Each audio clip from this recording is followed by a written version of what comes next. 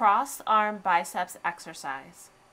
Standing tall with hands at your side, turn the palms behind you, push your arms behind and hold for three.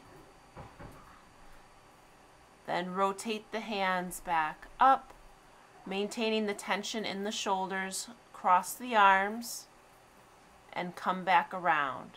You want to think about maintaining tension throughout the whole arm and setting the shoulder joint in the center of the socket as you do the exercise.